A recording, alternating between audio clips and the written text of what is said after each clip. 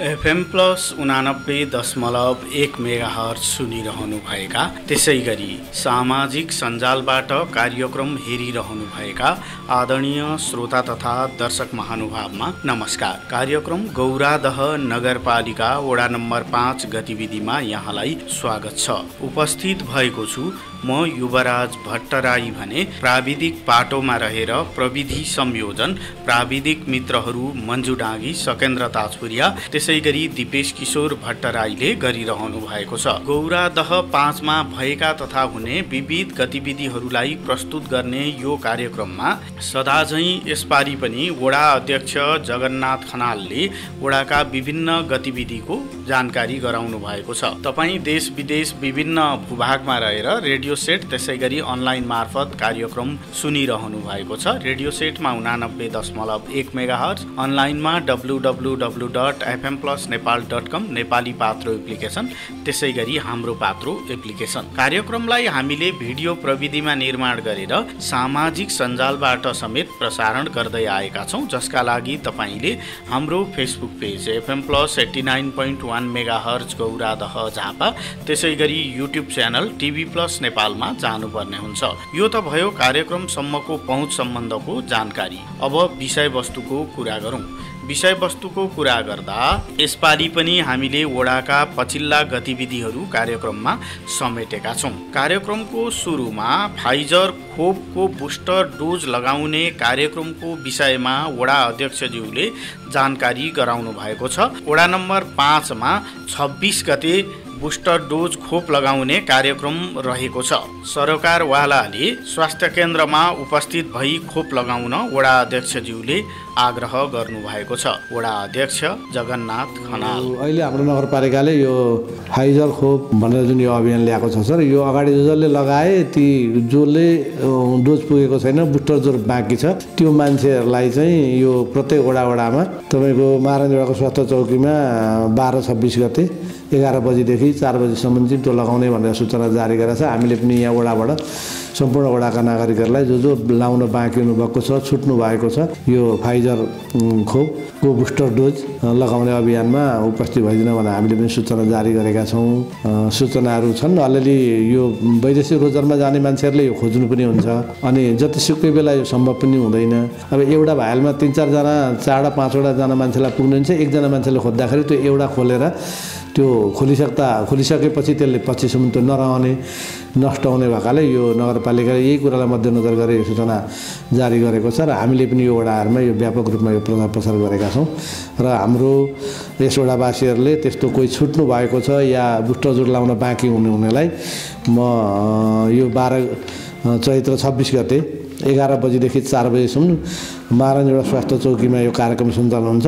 उपस्थित हुन म यस यहाँबाट पनि म अनुरोध गर्छु र यो नगरपालिकाले पनि यही सोचले यो कार्यक्रम राखेको भन्ने मलाई मैले बुझेको छु। कृषकहरूका लागि घाँस वितरणको कार्यक्रम अगाडि बढाइएको छ। पचास प्रतिशत अनुदानमा गौरादह कृषि कार्यालय मार्फत यो कार्यक्रम अगाडि बढाइएको हो। आवश्यक पर्ने कृषकले घाँसको बिउ ल्याउनका निमित्त वडा अध्यक्षज्यूले आग्रह गर्नुभएको छ। त्यसै गरी उहाँले कृषि उपकरण वितरणको कार्यक्रम चाँडै गरिने सम्बन्धमा पनि जानकारी गराउनु भएको छ। वडा अध्यक्ष जगन्नाथ खनाल।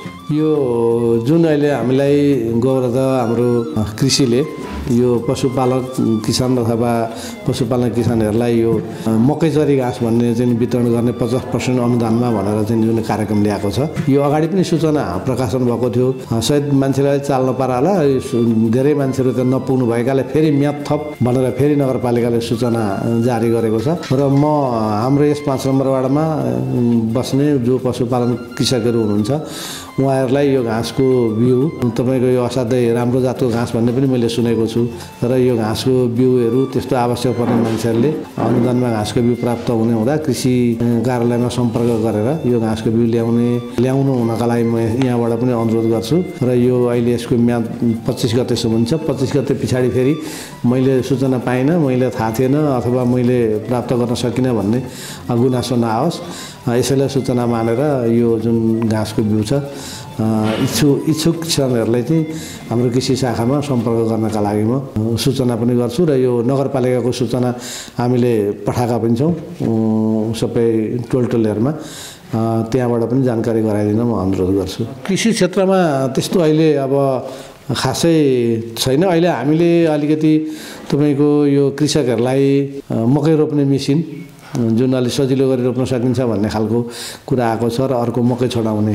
यो कुरा यो पचास पर्सेन्ट अनुदानमा वितरण गरौँ भनेर केही पैसा विनियोजन गरेको छौँ र त्यो प्रक्रिया पनि हामीले अगाडि बढाइसकेका छौँ। अब यो हामी चाँडै नै अब हामीलाई नगरपालिकाले ती सामानहरू खरिद गरेर उपलब्ध गराइदिन्छ। त्यस पछाडि हामी यस हाम्रो पाँच नम्बर वडामा छब्बिसवटा हाम्रा टोल विकास संस्थाहरू छन्। अहिले हामीले कृषकलाई पचास पर्सेन्ट अनुदानमा दिन सक्ने अवस्था हाम्रो अलिक रहेन। हामी अहिले यी सामग्रीहरू चाहिँ एउटा टोल विकास संस्थालाई एउटा मकै रोप्ने र एउटा छोडाउने दिन्छौँ। त्यसरी हामी वितरण गर्छौँ पचास पर्सेन्ट अनुदानमा।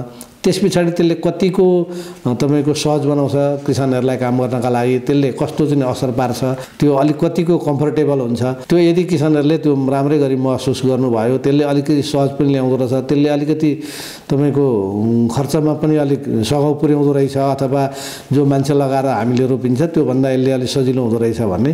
र आगामी दिनमा कृषकहरूले यसलाई अलिकति यो अलि राम्रो हुँदो रहेछ यसबाट अलि हामीले राहत महसुस गऱ्यौँ भन्ने खालको अनुभूति दिनु आयो। भने हामी फेरि अलिकति आउँदो आगामी वर्षतिर बरु अलिकति बजेट थप गरेर थप बजेट राखेर पनि हामी किसानहरूलाई सामग्रीहरू उपलब्ध गराउँछौँ। यो चाहिँ पहिलो चरण भएकाले यसले कतिको सजिलो हुन्छ कतिको चाहिँ सजि राम्रो गरी यसले गर्न व्यवस्थित गरी गर्न सकिन्छ भन्ने कुराहरूमा पनि यसले हामीले यो वर्ष यो कुराबाट ज्ञान लिने भयौँ।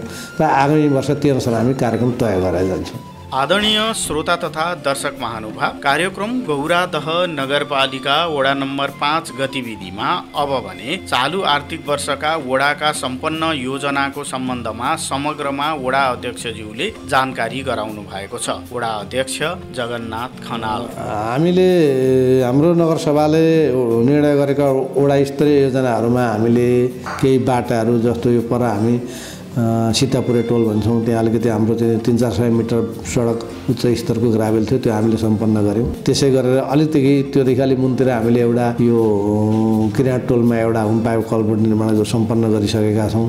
त्यसै गरेर हाम्रो पर वडा सदस्य मणिजी राईको घर अगाडिको बाटो अलिकति त्यहाँ हामीले तिन चार सय मिटर बाटो निर्माण गर्नु थियो त्यो बाटो पनि हामीले सम्पन्न गऱ्यौँ। त्यसै गरेर हामीलाई नगर स्तरीय योजनाहरू पनि हाम्रो तल चप्रामारीमा पाइप कलबोर्ड थिए। त्यो पाइप कलबोर्ड चाहिँ तिनवटै थियो हाम्रो। एउटा नगर स्तरीय दुईवटा नगर स्तरीय एउटा वडा स्तरीय ती होमपाइप कलबाट निर्माण गरिसक्यौँ र यहाँ हामी यो डिल्लीराम अधिकारी भन्छौँ यहाँ स्कुल छन् हाम्रो स्कुलदेखि अलिक पश्चिमपट्टि त्यहाँ एउटा बाटो थियो हामीले त्यो बाटो पनि निर्माण सम्पन्न गऱ्यौँ। र अहिले हामीले यो पर हाम्रै पाँच नम्बर वडाको चौबाटोदेखि पूर्व एउटा बाटाको ट्र्याक खोल्नु थियो। त्यो बाटाको ट्र्याक खोल्ने काम पनि अन्तिम अन्तिम चरणहरूमा पुर्याएका छौँ। र हामीसँग यी जुन पूर्वाधारका केही कामहरू थिए यी कार्यक्रम लगभग लगभग हामीले सक्दै सक्दै लगाएका छौँ। अब अलिकति अलिकति हामीसँग रहेका थोरै काम बाँकी कामहरू भनेका अलिअलि यो विद्यालयहरूका थोरै घेराबाराका कुराहरू छन् ती अहिले हुँदैछन् सम्पन्न हुन केही समय लाग्छ तिनीहरूलाई केही बाँकी छन्।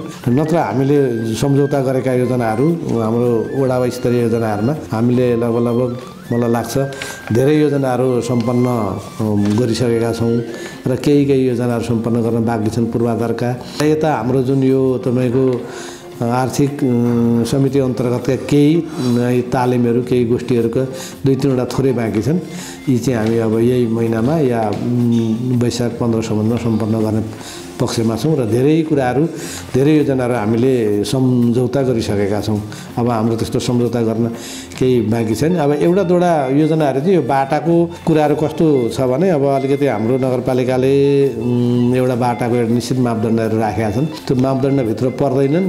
अब त्यहाँका उपभोक्ताहरूले बाटो निर्माण गर्ने कुरा पनि माग गरिरहेका छन्। अनि केही रकम विनियोजन भएर निर्माण गर्न गयो भने अथवा त्यहाँ निर्माण कुरा परिसकेपछि अलिक बाटो विस्तार गरौँ भन्दामा केही जग्गा धनीहरूले होइन हाम्रो बढी मिचिने भयो हाम्रो जग्गाहरू चाहिँ नि यसरी मिच मिचिँदा हामी अलि अन्यमा पर्छौँ अथवा हामीसँग थोरै छ भनेर मापदण्ड नपुगेका केही दुईवटा जति बाटाहरू छन् नत्र अरू योजनाहरू लगभग लगभग धेरै सम्पन्न भए धेरै योजनाहरू सम्झौता भएर कामहरू हुँदैछन् र केही सानातिना मसिना केही दुई तिनवटा योजनाहरू सम्झौता हुन बाँकी होला। गौरादह नगरपालिकाको हिउँदे अधिवेशनबाट के कस्ता योजनाहरू संशोधन गरिए त? ती किन संशोधन गरिए भन्ने सन्दर्भमा समग्रमा अब वडा अध्यक्षज्यूले जानकारी गराउनु भएको छ।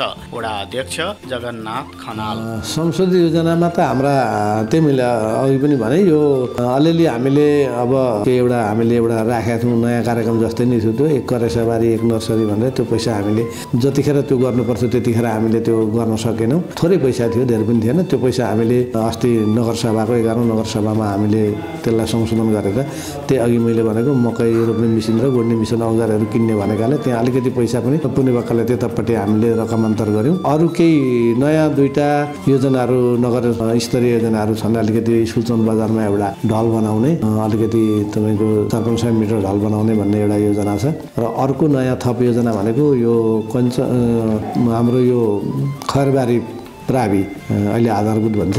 खरबु खरबारी आधारभूत मावि छेउमा बाटो अलि बिग्रिएको थियो। त्योतिर हाम्रो चान्दु खोलामा कति रतुवा खोलामा ठुल्ठुला कलबेटहरू बने।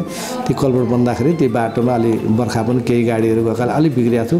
र त्यहाँ अलिकति बाटोहरू निर्माण गर्ने भनेर पाँच लाख रुपियाँ पैसाको योजना त्यहाँ थप भएको छ। अरू खासै त्यस्तो धेरै योजनाहरू त छैनन्। र नगर स्तरीयबाट त्यो आएको संशोधनमा खासै त्यस्तो धेरै हाम्रो संशोधनहरू छैन। आदरणीय श्रोता तथा दर्शक महानुभाव कार्यक्रम गौरादह नगरपालिका वडा नम्बर पाँच गतिविधिमा अब भने छोटो विश्राममा जाने बेला भएको छ। विश्रामपछि अन्य जानकारीका साथमा उपस्थित हुने नै छौँ। एफएम प्लस सुन्दै रहनुहोला। सामाजिक सञ्जालबाट कार्यक्रम हेर्दै रहनुहोला।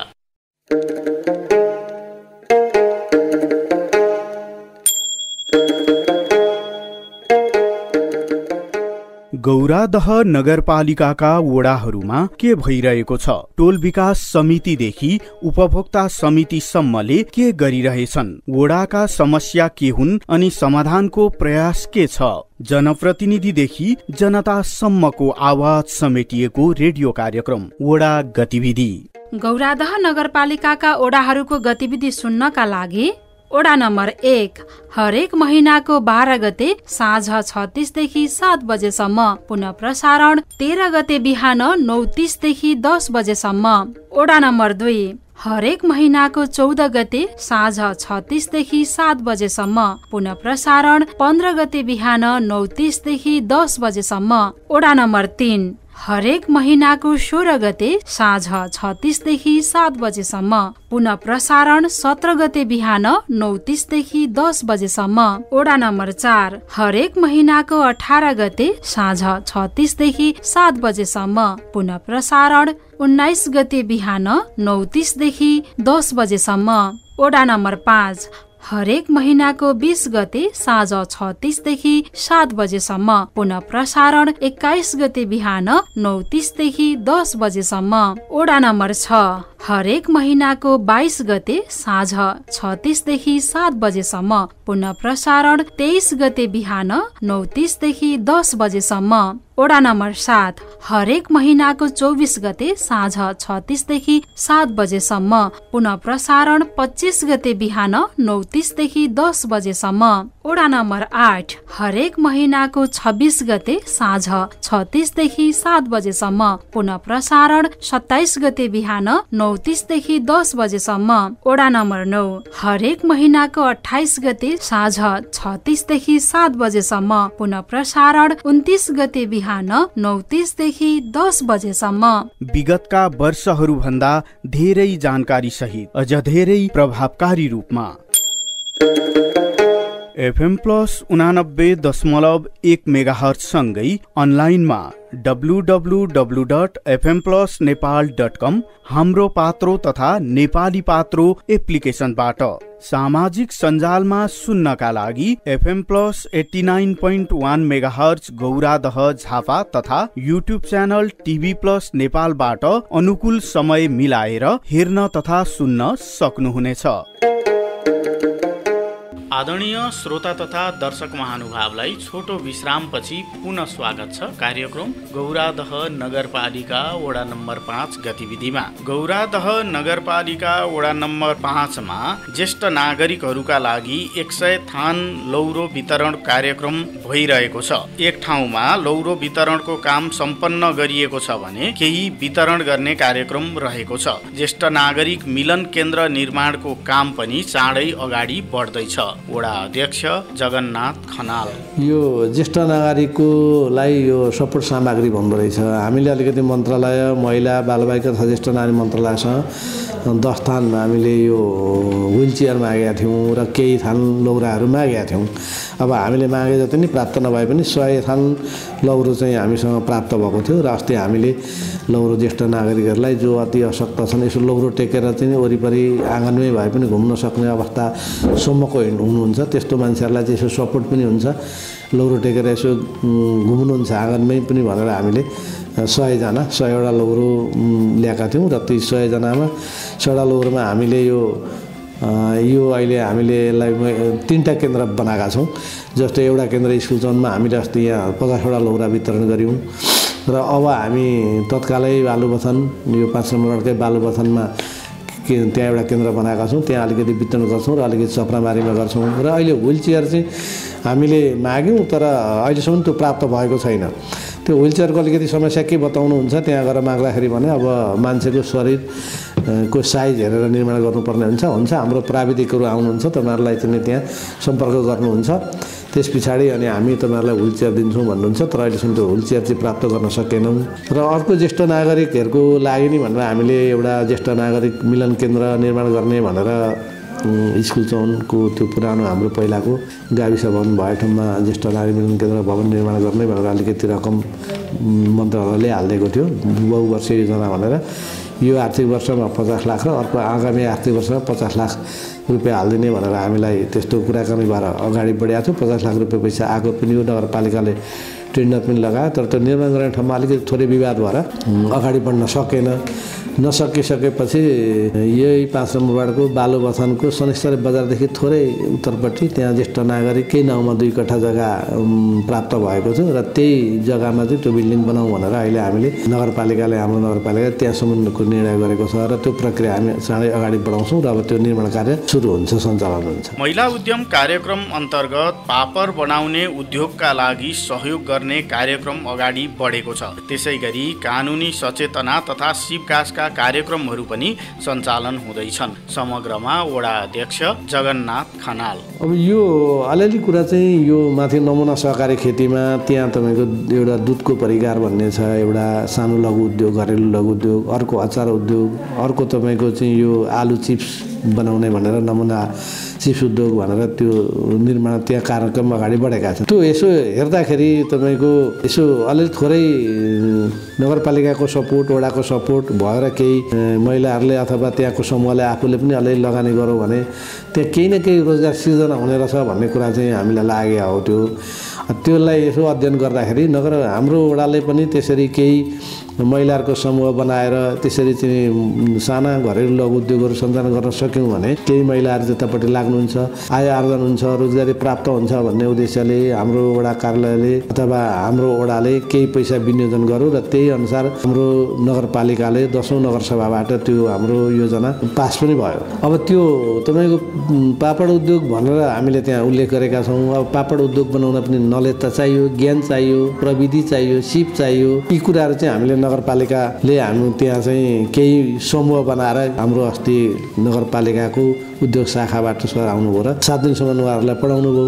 त्यसमा चाहिँ चप्रामारीबाट पाँचजना महिला यतापट्टि यो साइडबाट पाँचजना महिला अर्को साइडबाट पाँचजना महिला गरेर हामीले चार नम्बरबाट पाँच नम्बरको करिब करिब बत्तिस तेत्तिसजना महिलाहरूलाई त सामूहिक रूपमै हाम्रो घर उद्योग शाखाबाट सात दिनसम्म उहाँहरूले चाहिँ तालिम दिनुभयो। त्यस पछाडि त्यो समूहले अब उहाँहरूको रोजाइमा त्यहाँ उहाँहरूले पढ्दाखेरि के गर्न सकिन्छ र सक्ने रहेछ त भनेर उहाँले जुन सात दिनसम्म त्यहाँ तालिम प्राप्त गरिसकेपछि उहाँहरूले अहिले त्यो पापड उद्योग सञ्चालन गर्न सकिने रहेछ। अब हामी पनि केही लगानी गर्छौँ वडाका वडाले पनि केही लगानी गरिदियोस् नगरपालिकाबाट पनि अरू प्रविधिहरू अरू सिपहरू हामीलाई प्राप्त हो भने हामी सञ्चालन गर्न सक्छौँ भनेर चाहिँ एउटा उपभोक्ता समिति निर्माण गर्नुभयो महिलाहरूकै र उहाँहरूले चाहिँ त्यो समितिको निर्णयअनुसार चाहिँ यहाँ वडाबाट चाहिँ अन्य का अरू आवश्यक कागजात लगाएर नगरमा योजना सम्झौता गर्नुभएको छ। मलाई लाग्छ अब त्यो चाँडै नै नगरपालिकाको उद्योग शाखाबाट त्यो कार्यक्रम अगाडि बढ्छ। एउटा त्यो अब अरू चाहिँ अलिकति महिलाहरूको माग पनि अनुसार र हामीले चाहिँ यो महिलाहरूलाई कानुनी शिक्षा यो द्वन्द्व रूपान्तरण कसरी द्वन्द्वहरूको चाहिँ तपाईँको व्यवस्थापन गर्न सकिन्छ अरू यो महिला सिप विकास जस्ता कुराहरूमा चाहिँ हामीले अलिकति तालिमको व्यवस्था गर्ने भनेर ओडाले अलिकति पैसा विनियोजन गरेको छ। त्यसको पनि एउटा महिला सञ्जाल गठन गरेर त्यो महिला सञ्जालबाट आवश्यक कागजात ओडाबाट लगेर त्यो पनि योजना सम्झौता भएको छ। त्यो पनि अब केही उहाँहरूले चाहिँ त्यस्तो प्रशिक्षकहरू बोलाएर त्यो कार्यक्रम पनि सञ्चालन गर्ने बिन्दुमा पुर्याउनु भएको छ र त्यो अब चाँडै तुरुन्तै त्यो महिला कानुनी साक्षरता तालिम र त्यो द्वन्द्व रूपान्तरण कार्यक्रमको तालिमहरू पनि सञ्चालन गर्छौँ हाम्रो वडाले गर्छ त्यो। र अरू थपमा हाम्रो यो अलिकति कृषिसँग सम्बन्धित थोरै पैसा विनियोजन छ। किसानहरूलाई अलिकति यो ज्ञान सिपहरू चाहिँ दिउँ अथवा तालिमै चलाउँ भनेर अलिकति पैसा विनियोजन गरेका छौँ। त्यो चाहिँ कुरा हाम्रो अलिकति यहाँ हाम्रो कृषि मूल समिति भन्ने छ। विभिन्न टोलमा कृषि समितिहरू छन्। ती सबै टोलहरूबाट सम्भव नहुने भएर ती सबै टोलहरूको जम्मा गरेर एउटा मूल कृषक समूह भनेर निर्माण गरेका छौँ। त्यो कृषक समूहसँग हामीले त्यसको चाहिँ कार्यक्रमहरू माग गरिसकेका छौँ। त्यहाँ केही अलिकति एकजना साथीको चाहिँ अलिकति अप्ठ्यारो स्थिति परेर उहाँ दुई चारजना अप्सन हुनुभएकाले त्यो अगाडि बढाएको छैन। उहाँहरू उहाँहरू आएपछि हामी तुरन्त त्यो कार्यक्रमलाई पनि अगाडि बढाउँछौँ। रेबिज रोग विरुद्धको खोप लगाउने कार्यक्रम ओडामा सम्पन्न भएको छ। घरपालुवा कुकुरहरूलाई खोप लगाइएको सम्बन्धमा जानकारी गराउँदै हुनुहुन्छ वडा अध्यक्ष जगन्नाथ खनाल। त्यो ठ्याक्कै नि शुल्क यो घरपालुवा कुकुरलाई रेबिज विरुद्धको खोप लगाइयो। त्यो चाहिँ तपाईँको अब सङ्ख्या चाहिँ ठ्याक्कै मलाई अहिले त्यो मैले बिर्सेँ त्यो भन्न सकिनँ त्यो गरियो र राम्रै गरी सहभागिता भएको थियो त्यस दिन यहाँ। अर्को पनि एउटा कार्यक्रम भएकाले म दिनभरि त यहाँ त्यो बसेर त्यो सबै कुरा हेर्न त पाइनँ। तर भरे बुझ्दाखेरि राम्रै गरी सहभागिता भएको थियो र यो चाहिँ कस्तो रहेछ भन्नुहुन्छ भने अब घरपालुवा कुकुरहरूलाई नि शुल्क रेबिजको सुई लगाउनका लागि अन्यत्र गएर प्राइभेट ठाउँमा लगाउने भने एउटा पाँच सय रुपियाँ लिँदो रहेछन्। यो त ठुलो राहत हो। अब फेरि त्यो रेबिजको सुई लगाएपछि अर्को वर्षमा पनि ठ्याक्कै नगरपालिकाले गरिदिँदाखेरि त उहाँहरूले कतै दुःख पनि पाउनु भएन। त्यो सजिलो रहेछ। त्यो त्यसो त्यही खालले हामीले प्रचार पनि गरेका छौँ। तपाईँहरूलाई यसले अलिकति फाइदा पनि हुन्छ राहत पनि पुग्छ। तपाईँहरू घरमा जो पाल्नुहुन्छ कुकुरहरू तपाईँहरूले यो सुरक्षित पनि हुन्छ यसो गर्नुहोस् है भनेर उहाँहरूलाई बुझाएपछि मान्छेहरूले धेरै कुराहरू बुझ्नुभयो। त्यति पहिला पहिला त्यति वास्ता गर्नुहुन्न थियो तर अब चाहिँ धेरै कुराहरू मान्छेले बुझ्दै बुझ्दै गएर अलिक धेरै कार्यक्रमहरू प्रभावकारी सरकारी ढङ्गले सञ्चालन भएको पाइन्छ देखिन्छ अहिले चाहिँ। वडामा खानेपानीको पाइप विस्तारको कार्यक्रम अगाडि बढिरहेको छ। यो वर्ष एक सय भन्दा केही बढी घर परिवारलाई धारा वितरण गरिने कार्यक्रम रहेको छ। वडा अध्यक्ष जगन्नाथ खनाल।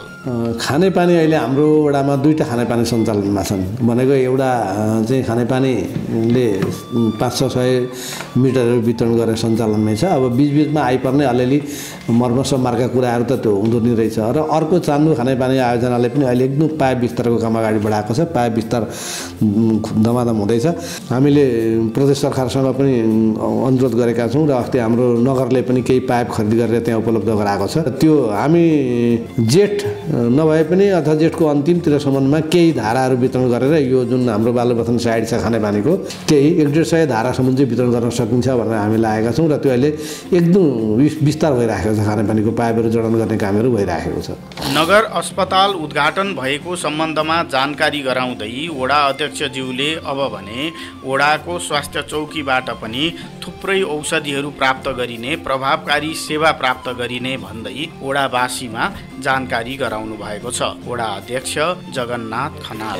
स्वास्थ्यमा अब यसै वस्तु अस्ति पन्ध्र गते नै हाम्रो नगर सिस्ता नगर अस्पताल उद्घाटन भयो होइन? अहिले अब नगरबाट तपाईँको त्यो चौबिसै घन्टा यो इमर्जेन्सी सेवाहरू सञ्चालन गर्ने भन्ने कुराहरू त बाहिर आइ नै सकेको छ सबैले सूचना पाइ पनि राख्नुभएको छ।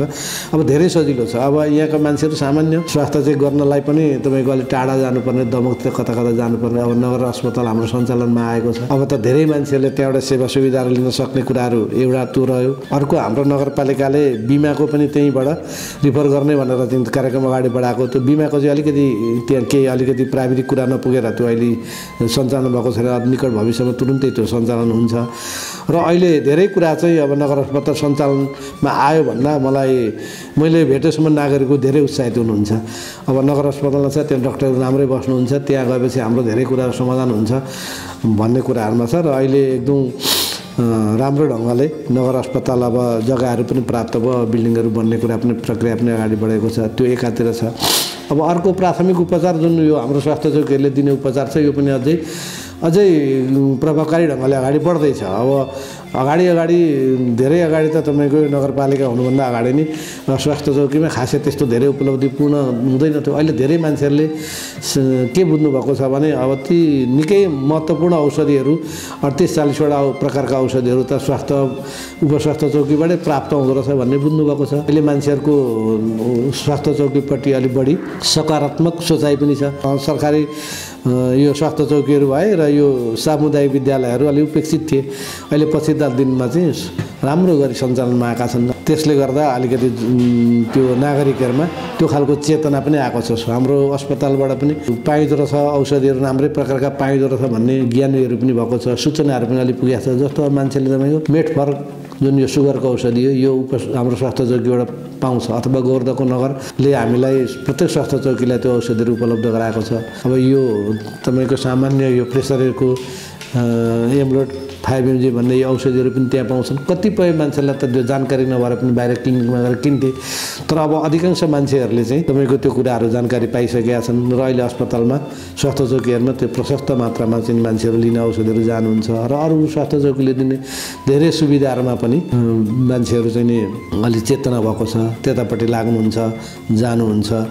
र अलिक प्रभावकारी छन्। पहिलाभन्दा अहिले तपाईँको यो नगरपालिका हाम्रो बनिकन यता हाम्रा स्वास्थ्य संस्थाहरूबाट दिने सेवाहरू पनि अलिक प्रभावकारी भएको छ। अहिले चाहिँ तपाईँको अब धेरै हेर्ने हो भने यो सुगर र प्रेसरका मान्छेहरू धेरै रोगी छन्। उनीहरूलाई प्रत्यक्ष फाइदा हुने हो त्यो रोगीहरूलाई त्यो कुराहरूले। र यसरी प्रभावकारी ढङ्गले अगाडि बढेका छन्। गौरादह पाँचका वडा अध्यक्षज्यूले जानकारी गराउनुभएका यिनै सामग्रीसँगै कार्यक्रमबाट अब भने हामीले विदा माग्नुपर्ने बेला भएको छ। तपाईँलाई कार्यक्रम कस्तो लाग्यो? प्रतिक्रियाका लागि हाम्रो स्टुडियोको टेलिफोन नम्बर शून्य तेइस चार असी शून्य पचपन्न सदैव खुल्ला छ। प्राविधिक बाटोका सहयात्रीलाई धन्यवाद दिँदै म युवराज भट्टराई अर्को दिन। अर्को वडाको गतिविधिका साथमा हाजिर हुने बाचासहित विदा माग्छु। एफएम प्लस सुनेर साथ दिनु भएकोमा यहाँलाई धेरै धेरै धन्यवाद छ। हाम्रो प्रसारण सुन्दै रहनुहोला। हवस् त नमस्कार।